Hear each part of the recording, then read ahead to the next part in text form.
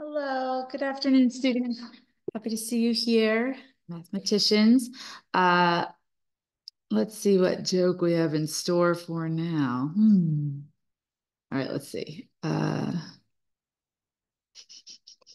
okay. What do we think about this joke? What happened to the two thieves who stole a calendar? They each got six months because 12 divided by 2, 12 months in a year.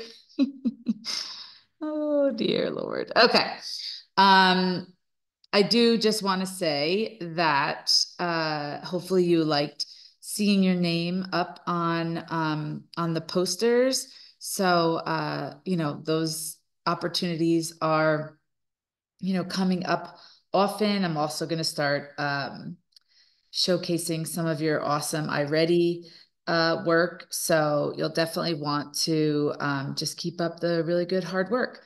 Um, I'm recording this on Sunday, so I don't know who's in the World Series, uh, but I'm really excited um, to see. Uh, I'm I'm like, it's not even the Mets and Dodgers haven't even played yet, so I feel nervous. But when you see this, we'll all know.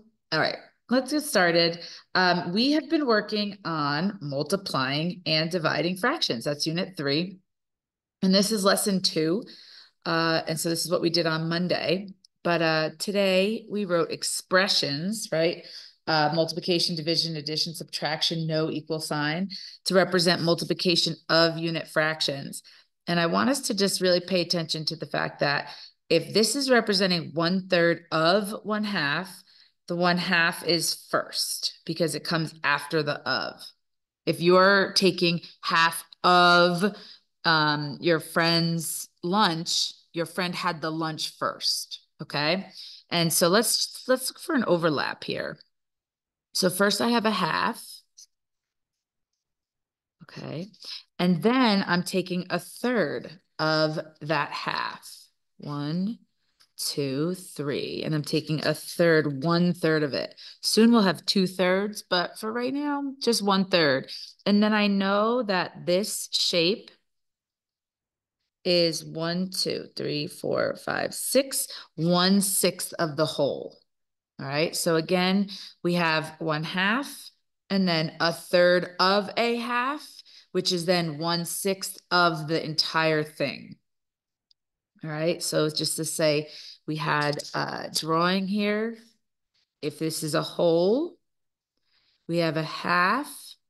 And then if we were counting for sixths, right? If this is one six, two six, three six, right? Because it's right there. Four six, five six, six six. This is a half, which is three sixths. And if I split six into thirds, that's one third, two thirds, three thirds. Okay. And that's how, um, that's how I end up having one sixth as one third of this half, which is right here. I'm splitting the half into three pieces. Okay. Now, um, hopefully that's becoming more clear for you. Uh, but let's get started. Celia's teacher asked her to draw a model to represent one third of one fourth. This is what she drew. So good job, Celia. She drew the one fourth first. Love that. And then they're asking us to finish it. So I see Celia's model and I'm going to split my fourths into thirds. Okay, so I need to make that actually a little bit better. So I'm going to make this a little bit lower. Okay, and then this here. Okay, so I want you just to ignore this. I was taking a fourth of it, but that's wrong. Ignore. Okay, so now I have this one fourth, and now I've shaded one third of the one fourth. So I'll just draw it again so we can be on the same page. One, two, three, and then one, two. Okay. So first I'm going to shade in my one fourth. And then I'm taking a third of one fourth, and this is a third of one fourth. Okay, and so that shape is actually one, two, three, four, five, six, seven, eight, nine, 10, 11, 12. It is one twelfth of the whole. All right, one third of one fourth equals one third times one fourth, and that equals one twelfth. I'm sure you can see a pattern here. But let's just write what we did here. We finished Celia's model. Um, to finish, I split the one fourth into thirds. Okay. And then I found one third of it. Then I found what one third of one fourth is from a whole. Okay, and it ends up being a 12th. So that's pretty great. All right, let's look at the next problem. It says which expression, so there's no equal sign here, um, represents the area of the shaded piece. All right, so let's count. This entire thing is one, which means these are fractions. So I have one, two, three, four, five. Okay, so this is one fifth. And then I have one, two, three, four.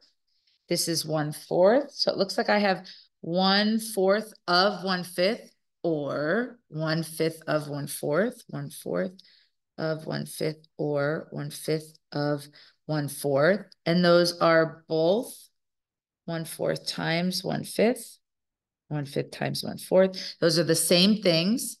Okay. And so my only answer here is, is, is one fourth times one fifth. All right. And I, as a answer this, can you find one fifth times one fourth uh, to be graded as like a bonus? Can you find that? All right. I look forward to seeing your answers. Okay. Um, it's a couple more I'm going to leave for you to have graded. Um, and so I just want to, you know, keep us understanding that. All right. So I'm going to write a multiplication expression to represent the area of the shaded piece. Well, first, it looks like I have of one half. Right. That's what it started out as the of. And then it looks like the one half was split into one, two, three, four, five, six. So it looks like I have one sixth of one half. All right. And it looks like one sixth of one half is one sixth times one half. All right.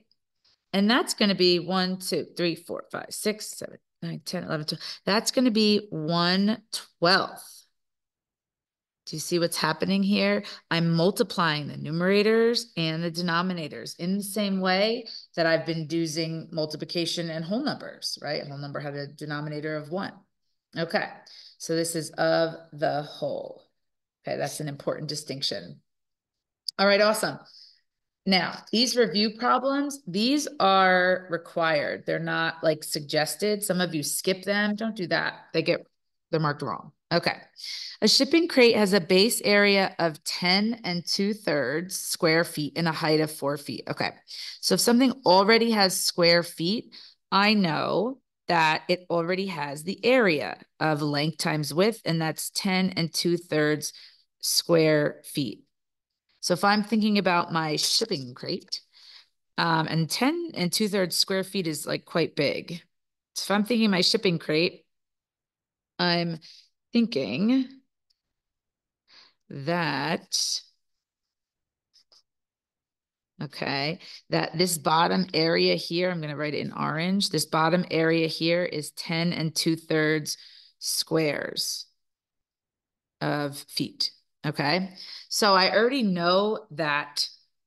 And so with my volume, length with height, I already know two of the dimensions. And so I'm going to replace those two dimensions with parentheses because it holds in the number with 10 and 2 thirds because that is, oh, where's another one? That's length times width is 10 and 2 thirds. I already have the area. All right. And now my base is done. So now let's look at my height. My height is four feet. Okay. So I know that this is going to be four feet And then I'm gonna get cubic feet as the final uh, answer. Unit, cubic feet, which is what they actually asked me for.